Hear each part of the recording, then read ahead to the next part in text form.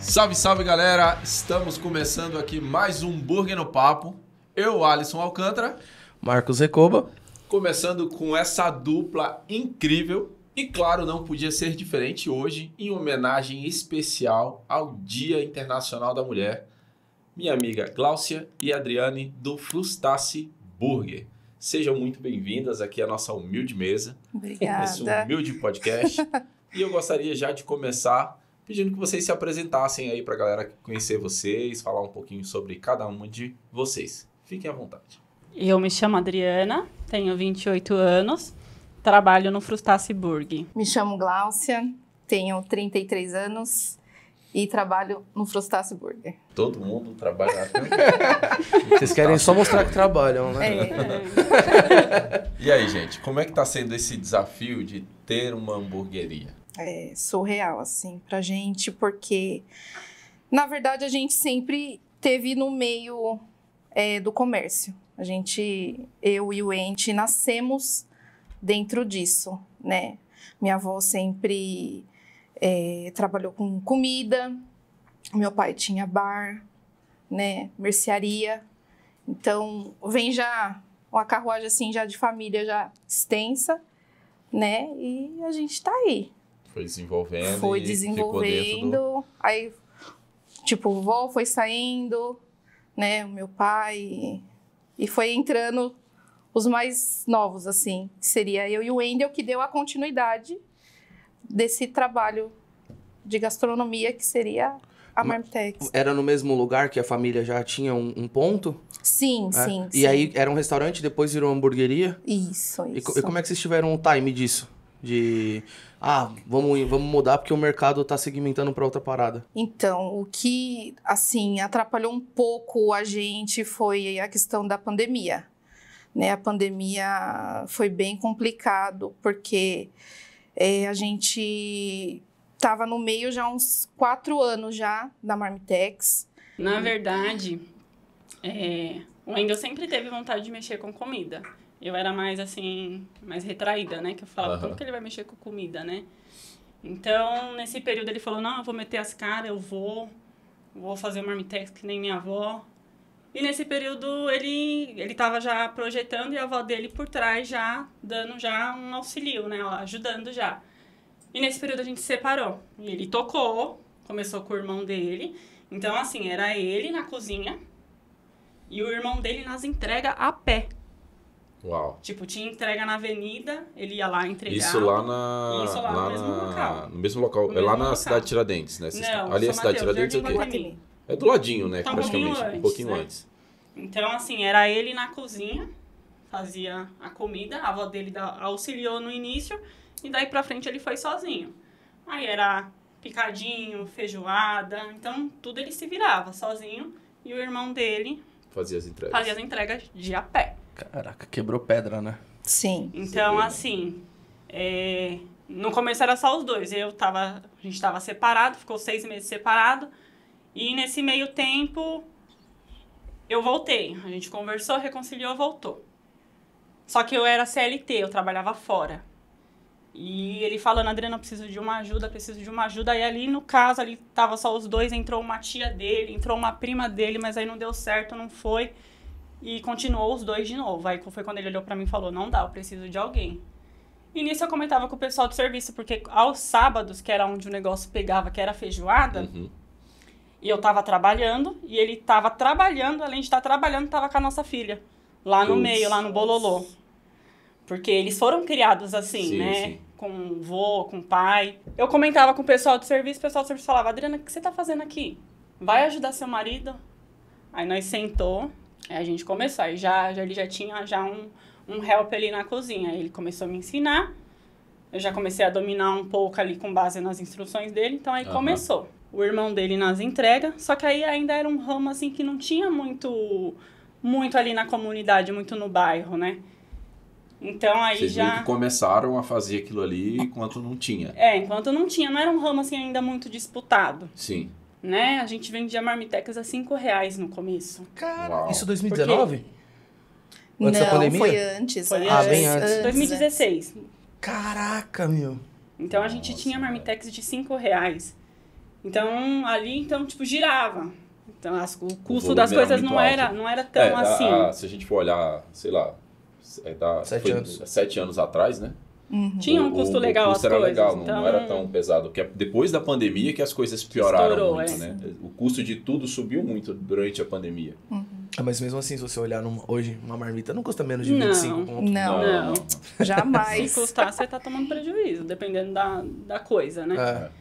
Então, ali a gente começou, aí a gente já viu que estava necessitando já o a pé, já, mas não, não, Não dava, dava. precisava de um motoboy. Aí nós chamamos um conhecido, Aí daqui começou a pouco a gente viu que o WhatsApp já consumia muito, app, iFood. Só que ainda não tinha um giro legal no iFood, né? Aham. Então, mesmo assim, foi, foi, foi, foi. Aí entrou. E lá, só nós. Eu, o Wendel, o irmão dele e os dois motoqueiros. E aí o Wendel falou, porque já que, tipo, impossibilita a. A Maria Eduarda impossibilitava ela de trabalhar longe, o Wendel falou, vamos chamar a Gláucia. Aí a Gláucia. A Glaucia entrou pro time. Aí a Glaucia chegou. Aí a Gláucia É, veio. e a Glaucia chegou, né? Cheguei, eu trabalhava fora na época também. É, engravidei, né? Saí alguns meses antes que tive uma gestação um pouco complicada. O nascimento foi complicado, né? Até hoje é um pouco complicado. Quem me conhece sabe, né? Mas enfim. E aí o Wendel chegou um dia, né? Falou: Glácia, o que, que você acha da gente virar sócio, de você estar junto comigo também nessa, né? Porque não tem como você trabalhar mais fora, Fora, assim, né? né? Aí eu falei, é, vamos, vamos conversar, né? Vamos, vamos ver o que, que, que dá. Nisso, e o que, que aconteceu nesse meio tempo? Meu pai ficou doente, né? Meu pai ficou doente, meu avô ficou doente. E o meu avô tinha. A gente tinha Marmitex de um lado e do lado era o mercadinho do- dos meus avós. Né? E o que, que aconteceu? O meu avô ficou doente, internou, fez tratamento, veio a falecer. Aí, depois de dois meses, o meu pai né, fez cirurgia, pegou uma bactéria hospitalar, também faleceu. E nesse meio tempo, é, a Marmitex foi dando aquela decaída, entrou a pandemia e foi decaindo, decaindo. O Wendel já pensando em outras possibilidades para a gente ver o que, que a gente poderia estar montando. Porque na verdade né, ele sempre. Porque na verdade ele sempre teve, desde quando a gente tinha o Marmitex, ele sempre falava de, da tal da hamburgueria. Sim, Ele já sair tinha também. visão já É, que queria já. fazer, Ele né? já Já, tinha ele esse. já tinha. O bom é que vocês vêm de uma família que sempre empreendeu, pelo jeito, né? O Sim. vô, o pai sim. e tal. Então, ele, o Wendel nasceu com, com isso já engajado, né? Sim, Tipo, fazer uma sim. parada pra não Inclusive, depender mandar um abraço pro Ender, né? Ele É. que Com não certeza. pôde estar aqui hoje, né? Um Tá beijão fundo, pra né? ele. Salve, Ele salve, é o Wendel. é, o Mas Wendel, ele pra, é- pra você ver, né? Eu, eu tô ouvindo vocês falando aqui, né? E, e eu tenho o hábito de observar muito tudo. E, e é legal a gente fazer essa reflexão de voltar no tempo, de lembrar das coisas como aconteceram, tudo que a gente passou, Sim, porque tem muita coisa envolvida, né? Tem muito Demais. sentimento, tem muita conquista. E, cara, que luta, velho, pra, pra conseguir começar a desenvolver um negócio, né? Às vezes a galera olha de fora e, e não consegue enxergar que tem uma batalha muito grande por trás, né? Teve, né? Demais. E que continua Tem- tendo, né? E, e ela é contínua, né? É. Empreender é um desafio constante. A gente tem que sempre estar lutando, inventando formas de reduzir custo, aumentar faturamento, Uhum. entregar um produto de qualidade na ponta. E isso é um desafio que quem está empreendendo, ele, ele dorme e acorda com isso todos os dias. é, isso é, é verdade. muito louco. Por que o nome? Frustácea. Frustasse Burger. Esse nome é o nosso sobrenome, que é um sobrenome italiano, que é do meu avô. E quando a gente estava na reforma, tudo, aí o Wendel falou, Glaucio, a gente tem que ver um nome pra hamburgueria. né? Tava reformando tudo e precisava do nome. E a gente lá, né? Tudo tal. E veio em sonho pra mim. Meu avô falando pra mim, tipo, é, a hamburgueria vai se chamar Frustasse Burger. Uau. Eu falei, ué, eu falei, tá bom, né? No sonho, falei, é isso. Acordei, conversei com o Wendel, eu falei, Wendel, se eu te contar, eu não sei se você vai meio que acreditar, mas o nome da hamburgueria vai ser Frustasse Burger. Aí ele olhou assim pra mim, eu falei, veio em sonho, e foi o nosso avô que veio falando isso pra mim. E se não colocar, ele falou que vinha Se não colocar, chinelada. ele ia vir puxar Pegar meu pé. pé. Falou que vai fazer o motoboy faltar no dia da chuva. Aí o Wendel falou, fechou, é isso mesmo. E é um nome, assim, é, é um nome que eu carrego, assim, que é, né? É legal, é legal que gera, gera muita conexão com quem vocês são, né? Trazer essa Sim, história. sim. Já tem uma história familiar de empreender, de estar no ramo da comida, já tem uma Sim. referência aí. E daqui pra frente, a tendência é que os filhos de vocês também, né? Eles deem continuidade nisso. Geralmente acaba acontecendo assim, né? Uhum. E o nome ele vai perdurando aí de geração em geração. Ah. Eu acho muito bacana quando tem essa, essa sequência assim, Sim. né? de, de negócio. É, muito legal. tipo, é, eu tô na, com hamburgueria há dois anos, né? E é muito difícil encontrar donas né, de hamburgueria. Hoje em dia tem um movimento, tem algumas marcas aí que estão se juntando e estão reunindo uma mulherada. Mas normalmente vem sempre um homem na frente, né? Então, Sim. por exemplo, eu tenho o Recoba, minha esposa me acompanha também, mas normalmente a cara do Recoba é o Marcos, né? É, e vocês estarem aqui representando isso hoje é, é, é muito diferente pra mim. E quais são a- o- as dificuldades que vocês encontram? Tipo, falar com um motoboy ou talvez com um colaborador? Tem alguma. Tem um, um- um tato diferente? Ou tipo, vocês são agressivas igual o Wendel seria e tal, e vão pra cima, tapa na cara e já era? Não, É. na, na verdade, quem lidar mais com isso é a Gláucia, né? É que nem eu falei, na, na operação é só eu e o Wendel. Uhum. E lá nós dá nome e quando o negócio aperta, é, o Mike não fez certo, o fulano não fez certo, sendo que na real tá só eu e ele ali dentro. Né? A gente começa a dar nome pra, não- pra, tipo, na hora ali do aperto que, opa, eu fiz cagada. Ô, Mike, ô, presta atenção, não sei o que. Não, Legal essa estratégia. se Legal essa estratégia. se Ameniza um pouco o clima, Sim. né? Embora nós seja marido e mulher, tipo, a gente tá junto Tem- 24 por 48. Então, Legal. você tem que uma hora dar uma. Ir colocar a culpa em alguém, na parede, em qualquer Pra lugar. conseguir dormir seja, pra junto, né? conseguir, Quando é. chegar em casa. Então, Sim. assim, aí em questão de motoboy, quem lidar com motoboy é a Gláucia. E aí, Glaucia, como é que é? É meio complicado, né? Tem um motoboy mesmo que tá com a gente, já tem o quê? Já uns oito anos, né? Isso, acho que uns seis. Uns seis pra sete anos. Seis Ele pra tá com a sete, gente né? desde o- Desde o desde o início início da do Marmitex. Uau. Caraca. É, é, tá com a Esse gente. já é da família, Esse já. já- Esse já praticamente é. Ah, ali É eu conhecido falar, do Wendel desde pequeno, então. é, praticamente criado juntos ali. Então tem uma certa intimidade, ao mesmo tempo um amor, assim, um carinho, um respeito também. Mas é bem difícil. Assim, não só, assim, tem ele, tem mais outro também. E agora a gente também está solicitando bastante pelo iFood, Uhum. né? A gente está solicitando bastante pelo iFood, porque dá muita dor de cabeça. Dá. Dá muita dor Acho de é o, pro- cabeça. é o problema de todos os delivery, né?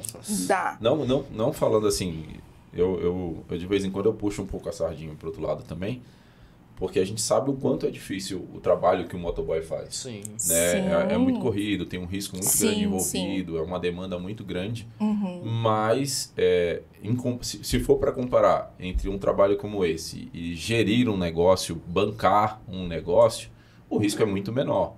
Sim. E aí é, a gente tem que estar sempre fazendo esse equilíbrio de gerir bem a Uhum. equipe de entrega, mas sem exceder o custo que a gente pode e flexibilizar uma coisa ou outra é, é uma loucura E pra total. te falar, viu, Alisson, tá sendo assim, bem bacana trabalhar com o iFood, eu digo nessa parte de entrega, porque o pedido tá pronto, solicito, o cara vem, pega de boa, tranquilo, vai, entrega, já dá cabeça, né? baixa O risco e... de problema é muito pequeno, né? Sim, sim. Sim, porque eu, eu tava, tipo, a gente tava com, com um funcionário lá, né, um motoboy. Ah, porque esse final de semana eu não vou. Puta, mano, pelo amor de Deus. Sexta-feira, filho, não faz isso comigo, não. É, avisa em cima da Faz hora. isso não, meu Furou o querido. Isso pneu. quando nem avisa, né? Isso quando nem avisa e simplesmente não vem. Eu acho que é Sei. essa é, essa é uma das grandes falhas que a própria estrutura, o motoboy em si, ele, ele comete, né? Pô, Não quer vir, cara? Beleza, avisa um dia antes, mano, sabe? Tem um Ah, e outra, de, deixa de a porta parceria. aberta, né? Deixa a Liga, porta fala, aberta, mano, eu tô cara, ó, mandando outro. Porque problema Sim. todo mundo tá suscetível a ter. Sim, sim. Mas fala, sim. cara, ó, tô com um problema hoje, não consigo ir, mas, pô, eu tô com, pro- vou tá com, eu tô com um problema, não vou conseguir. E avisa antes, meu. Sim, não deixa pra avisar em cima da hora. Meu, que a deixa gente muito na mão. E pior, prejudica né? muito até, até o fluxo normal, porque você deixa, Sim. às vezes, de atender uma demanda que ia Uhum. surgir, você perde cliente depois. Não, mas é, isso é verdade. aí o cliente já, já me liga, já manda mensagem, né? E aí, meu pedido, eu já vi que já saiu, já foi despachado e não chegou até agora. E você fica. E já com o do iFood já é mais fácil isso, né? Porque Sim. é, o cara a acompanha, tratativa né? é direto com o iFood, Sim, é- é, menos uma Você responsabilidade. consegue ter a localização dele, você consegue estar acompanhando. Não com- que eu consiga acompanhar todos, mas Uhum. eu sempre tô ali. A gente sempre tá ali monitorando tudo certinho. Vocês duas têm. As duas têm filhos? Sim, Tem, né? sim. Como é que é o desafio de ser mãe, esposa e empresária? E cunhadas, né? E cunhadas ainda. Cunhadas, né? E cunhado. Ó, ele já tá querendo arrumar treta. aqui. Não, arrumar treta aqui não, Não, eu- a, a pergunta é diferente. É, vocês, como casal interno, assim, trabalhar junto, é, deve ser muito difícil, né? Ou não? No, na época do Marmitex foi mais. Foi mais? Foi mais, porque assim. Era mais pesado. Acho que o, o- hoje em, em si o hambúrguer não é tão. Assim, é uma coisa mais prática. Sim. Porque no Marmitex você tinha que cozinhar, tinha que ficar de olho, senão queimava. E ali não, já ali na carne já você, o ponto é mal passado, ao ponto, bem passado. Então você, É já, tá, curto, você, né? você já tá de É. olho ali, você não, Uhum. não desvia o olhar. Agora já no Marmitex o negócio era mais. Não, não dá vontade de, de grudar assim, grudar É, o Mike, né? O Mike,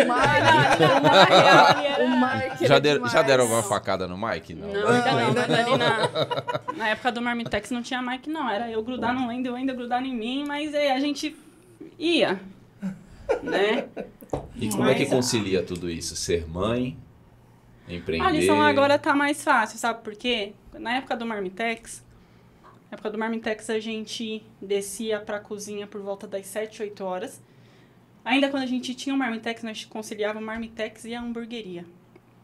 Aí teve um tempo que vocês ficaram com a as gente duas, ficou né? com os dois. Fez que loucura. Quando estava Muito. pré, quando a gente viu que o Marmitex não estava já mais dando aquele, Retorno? aquele retorno, o Wendel falou, não, agora é hamburgueria.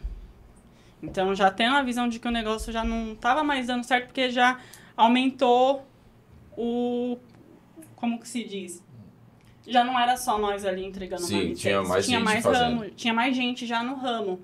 Então, aí a gente, aque- aquela marmitinha de 5, a gente já tirou, já excluiu ela, porque viu que já não estava dando. Aham. Então a gente sentou e viu que o valor não estava legal, precificamos lá certinho, aí de repente a Zenda começou a dar uma caidinha. Todo reajuste dói. Uhum. né? Dando- dói. dando uma caidinha. Aí nós sentou, ainda pegou e falou. Aí foi a época que teve o aumento. Um pouquinho antes da, pandemia da pandemia teve um, um aumento nas coisas, né? Uhum. Ainda quando era um aumento, tipo, no feijão, você conseguia segurar o Porque valor. você acaba fazendo Em ele larga rende muito, escala, né? É. Mas aí, de repente, a caixa do óleo que a gente pagava 50, 60 reais estava cento e pouco. Ó. 140 Fardo. até hoje. Dói, né? Uhum. Nossa. fardo do feijão que você pagava também 40, 50 reais, estava 90. Então a gente sentou e falou, não. Aí já veio a ideia da hamburgueria, a gente foi implementando, como a Glócia tinha falado. Na época, o vô dela tinha falecido. O salão era um mercadinho, né? A gente conversou certinho, como ficou parado lá, a vozinha não ia conseguir mais tocar. Então a gente resolveu começar ali a hamburgueria. E ainda assim com o Marmitex, não, des, não desfizemos dele, continuamos. Aí no meio do caminho em construção, o, o pai delas, Sim. o pai deles ficou internado, ficou um tempo no hospital e já a hamburgueria já sendo finalizada, os últimos ajustes, Pra inaugurar. o pai deles faleceu. É, ele, falece... ó, Então- ele faleceu dia 12 de dezembro, a gente inaugurou dia 20 de dezembro. Cacete. A gente não teve luto de um pro outro e hamburgueria. Porque A já, gente tá- a gente já, já tinha adiado já a, a inauguração. Por conta do Então voo. a gente já precisava de um retorno ali pra Uhum. gente já começar. A vida continua, né? Então- Por, mais, por mais que pareça ser frio isso, mas É, eu, eu costumo sempre pensar assim que é, quando eu, eu acredito principalmente num- numa relação tão próxima dessa, eu acho que o desejo deles seria que vocês não Ah, sim. seguissem adiante, que fizessem a coisa acontecer para para honrar mesmo, sabe? Uhum. E fazer a coisa desenvolver e seguir adiante. Mas é, é muita força, viu? É Parabéns demais. a vocês, porque tem Não, que ter muita força para aguentar isso. tudo isso. Fora isso, ainda eu, su- eu segurei uma semana sozinha a Marmitex. Porque o Wendel falou, Glaucia, não dá mais. Pra mim não dá. Não dá, não tem, não tem mais como. Aí segurou, eu segurei uma semana, chorando. Eu falei, eu não quero fechar a Marmitex. E o Wendel Glaucia, não dá mais.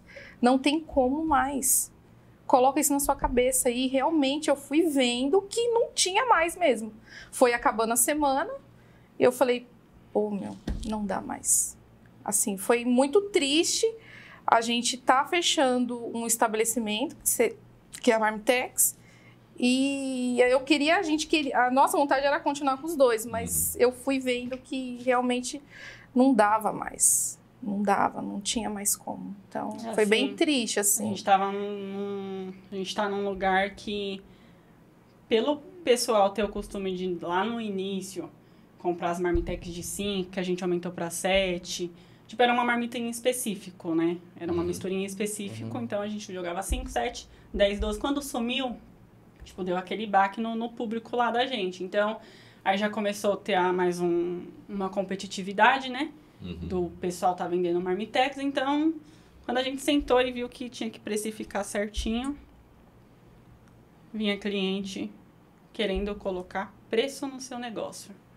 Então, Isso a gente viu é. que não, É, muito, muito e chato. o Wendel bateu o pé e falou, não vou, não vou, não vou reduzir, porque não... Não, tá certo, porque senão você, você trabalha de graça, Você né? trabalha Você com acaba... qualidade, então assim, fica difícil você reduzir um valor para ter um público maior, às vezes não gira. É, eu recentemente fiz um, um reajuste. Eu fiquei como delivery por dois anos e mudei para um salão em agosto do ano passado.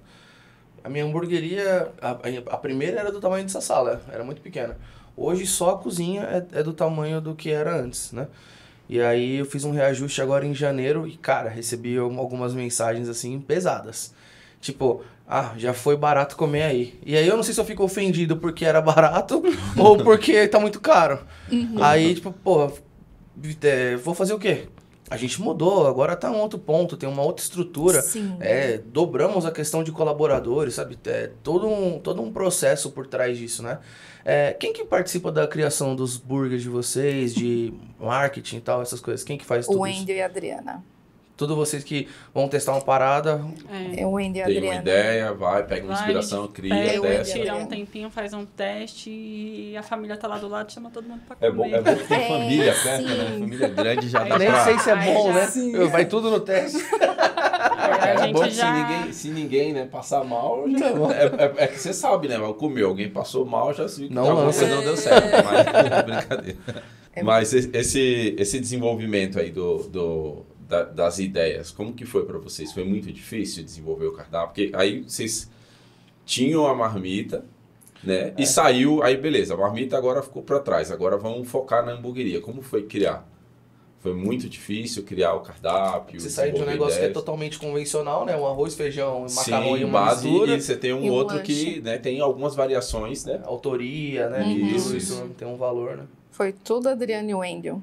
A gente já, já vinha assim, de, olho, né? Olha um ali, olha outro aqui. Então, Sempre estudando, né? então, um pouquinho antes de tudo acontecer mesmo, de ir pros finalmente, a gente sentou, viu, não, será que vai ficar legal? Sem ter muito conhecimento, né? Na, na área.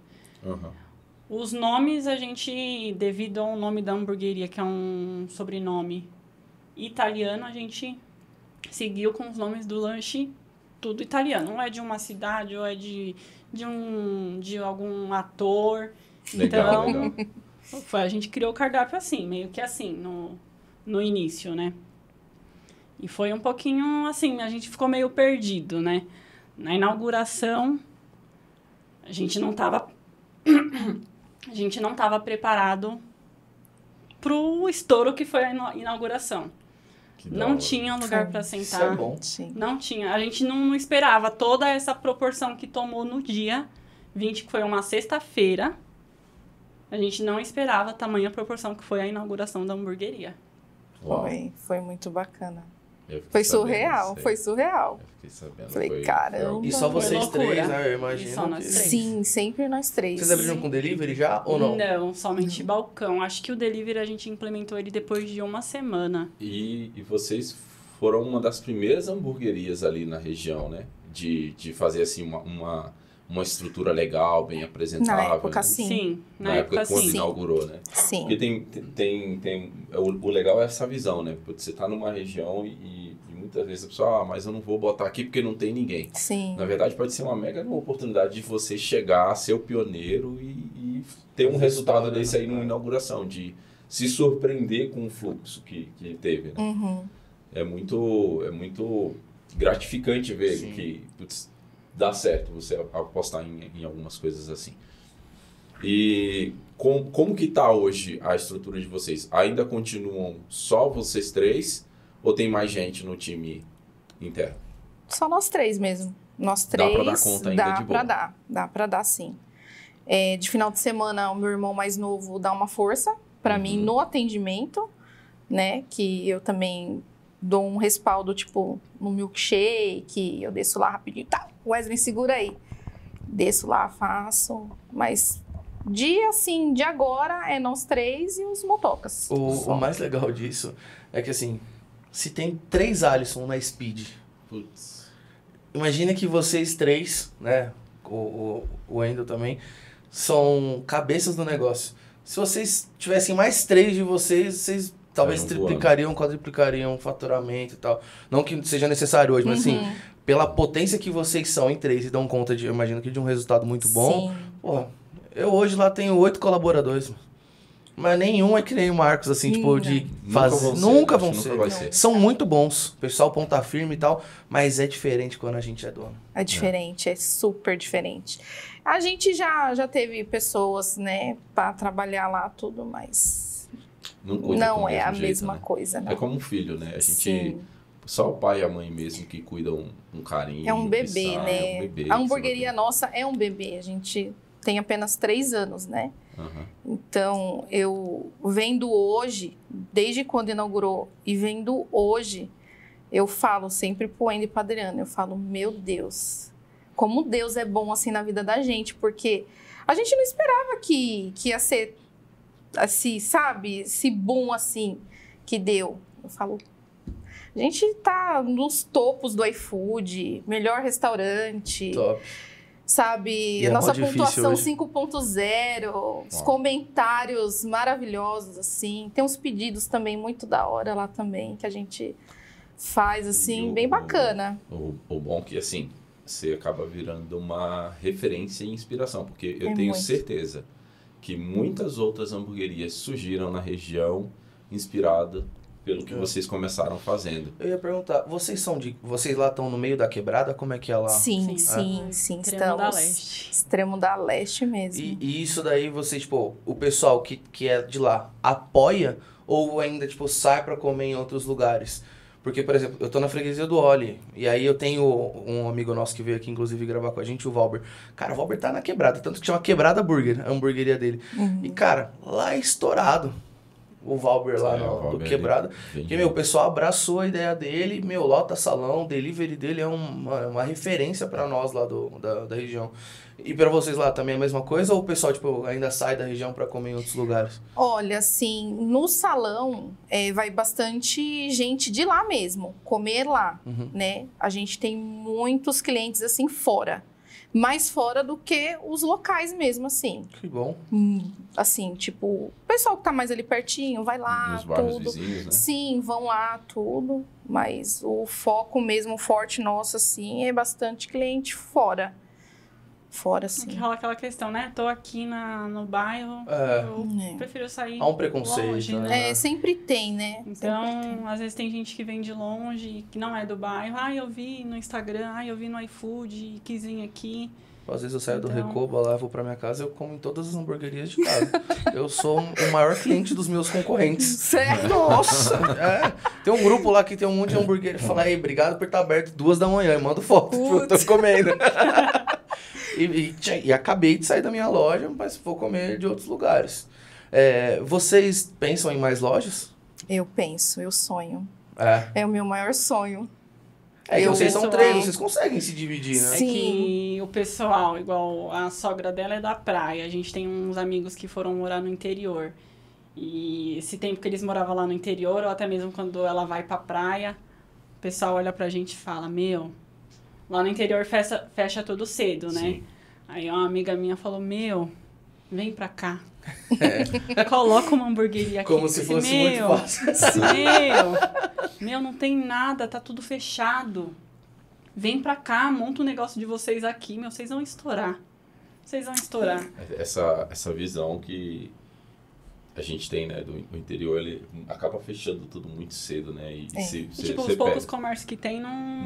Não assim, atende, né? o pessoal que já experimentou do nosso lanche fala, meu, os poucos comércios que tem aqui, tipo, relacionado a hambúrguer, mas é mais aquele, aquele tal do podrão, né? Uhum. Então ela fala que não tem comparação. Ela, meu, se vocês colocar uma loja aqui, vocês vão estourar. Nossa, então, se a gente pega, por exemplo, a, a rotina que a gente tem aqui em São Paulo, você vai para um litoral, você vai para o interior e aplica essa mesma rotina, você estoura, porque Sim. é algo que é fora do normal para É, eles. fora da né? curva. Fora não da tem, curva, ninguém tá tem, esperando faz aquilo. isso. é. Então gera um impacto muito grande. Vocês hoje, é, com, com essa estrutura que tem de loja, pensam em expandir o espaço que tem lá hoje para aumentar? Tem possibilidade para expandir? Ou a ideia é manter. Porque tem a- tinha a cozinha né, da, da marmitaria, né? Sim. Como que tá lá agora? Ela, ela vai virar um salão? Ela já virou um salão? Na verdade, a gente utiliza o espaço. Já utiliza como né? salão? Porque o salão lá do lado da hamburgueria é o salão só pra a gente atender o público balcão, público Certo. loja, né? Do lado onde a gente tinha um atendimento balcão do Marmitex, virou onde a gente faz a montagem dos lanches. Onde tinha, não sei se você vai se lembrar da churrasqueira onde Lembro, eu lembro. utilizava.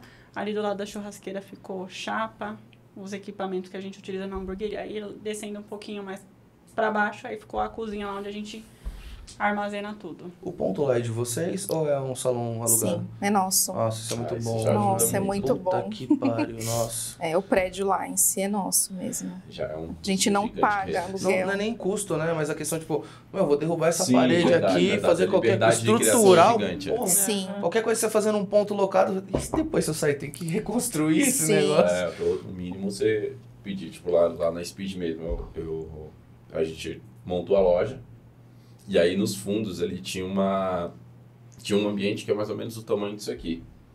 Que aí eu precisava montar um escritório para trabalhar e, um- e uma parte do atendimento lá, uma copazinha pro pessoal que trabalha lá poder se alimentar e tudo Uhum. mais, né? E aí, mano, eu fui fazer uma nota pra fazer obra, né? Eu não lembrava que obra era tão cara assim, mas fui fazer, gastei uma nota pra fazer obra. E o cara, o dono do imóvel, nem tinha, ele falou, "Ah, você vai fazer isso, vai por tua conta. É. Eu falei, não, amigo, mas aí, pô, isso aqui, a maioria das coisas vai ficar aí. Ele, ah, não, por sua conta, então tá bom, depois eu, eu derrubo tudo. Eu falei, ah. Porque, pô, Bota no É bolso e em outro e aí, aí eu fui ver, eu- era um prédio antigo, pô, eu tive que trocar toda a fiação, todo encanamento, pra não fazer um Aonde negócio é a câmara fria, é isso? Não, Onde é a loja? um- atrás da loja, onde é o escritório. Hum. Nossa, né? E aí, meu, na, quando é, é próprio, né, você tem Sim. muito mais liberdade pra isso. Tem, tem. A gente pode fazer o que quer ali. É isso aí. Aproveitando, né? Aproveitando, queria falar um pouquinho dos nossos patrocinadores aqui também, né? Falar da La Minuta. Para quem não conhece a La Minuta, a La Minuta é uma fábrica de pães aqui de São Paulo que eles são completamente diferentes de tudo que a gente já tinha visto. Artesanal É, eles mesmo. são artesanal raiz. O Denis é o gênio maluco do pão. Eu vou começar a chamar ele de gênio maluco do pão. Denis, alô você. Agora Queremos você aqui. Denis. Inclusive, já está convidado para vir aqui, né? Bater um papo com a gente sobre isso. E por que o gênio maluco do pão? Que ele abraça as ideias mais malucas, mais insanas que tem Antes e faz virar aqui, realidade. Eu tava, no, eu tava vendo no Instagram, ele tava assando um pão de beterraba com azeite extra virgem. Ele, ele falou é, pão de framboesa. pão de morango, Cranberry. pão de cranberry, Cebola Nossa. pão de caramelizada. cebola caramelizada.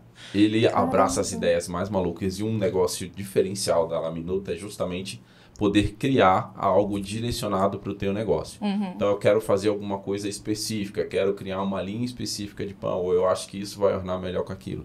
A Laminuta ela tem toda uma estrutura que ela consegue criar, desenvolver receitas junto, né, e te entregar um produto de extrema qualidade. Ainda Além tem um disso, laboratório, né? ainda eles têm É né, Laminuta La- Lab. Laminuta Lab, que é um estúdio, um um laboratório onde eles fazem cursos para tanto para área de panificação, área de pizzaria também, né? O Denis, ele cria negócios do zero, mais, né? Ele, Ele ajuda a, vou montar uma ideia, eu quero montar uma pizzaria, por exemplo. Uhum.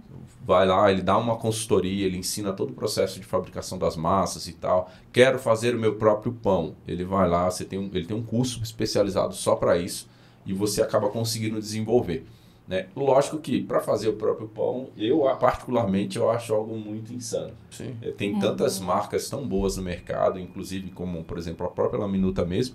E a gente não, é, um, é um trabalho que talvez não precise se ter agora de cara. Uhum. Né? Mas para você que está procurando aí, indico, vai lá, segue eles no Instagram, laminuta, arroba laminuta, e o site é o www.laminuta.com.br. Vai lá que o gênio maluco do pão vai te atender. Inclusive, é ele mesmo que atende a galera. Olha, que bacana. internet, Não tem vendedor, não. é, o cara, ele mesmo vai, entende qual é a tua necessidade, troca uma ideia com você. O deles ainda não descobriu que ele não é dois ainda, né? Não, ele ainda não, ele acha que é 30. É. Ele é professor fora, ele dá aula no Senac, né? Ele cria, Ele Ele cria, faz, ele, ele dá consultoria, ele faz. o- Um atendimento. É mil e um. Nossa. E também nós temos a Reina Embalagens. A Reina Embalagens é um parceirão já da Speed aí há mais de cinco anos que entendeu e apoiou a gente nesse projeto. A Reina ela trabalha com uma variedade gigante de embalagens, não só para o segmento de hambúrguer, mas para vários outros segmentos.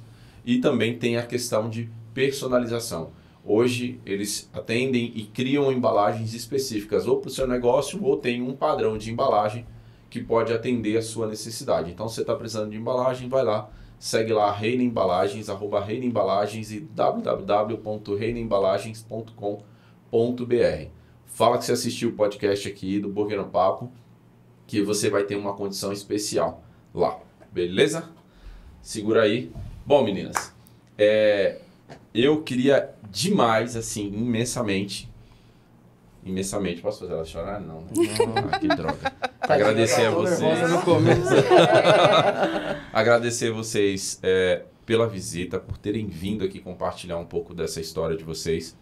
Eu sou de longe disparado e fora dos bastidores aqui, né? Fora de toda essa estrutura, a gente, eh, vocês sabem, principalmente, eu sou fã demais do trabalho que vocês fazem lá e muito grato pela parceria que a gente tem. Sempre. É, foi, foi, foram uma das primeiras parceiras que eu tive lá na região. Elas e sempre acreditou muito no nosso trabalho. Eu, eu entendia e via e acreditava muito no que eles estavam desenvolvendo. E para mim é uma honra e um orgulho ter vocês aqui. E para a gente fechar esse Dia Internacional da Mulher de forma mais especial, a gente preparou um presentinho para vocês aqui. né? Na verdade, são dois presentes. Esse aqui eu vou fazer questão de abrir e entregar. E tem um outro presente que é para vocês. tá?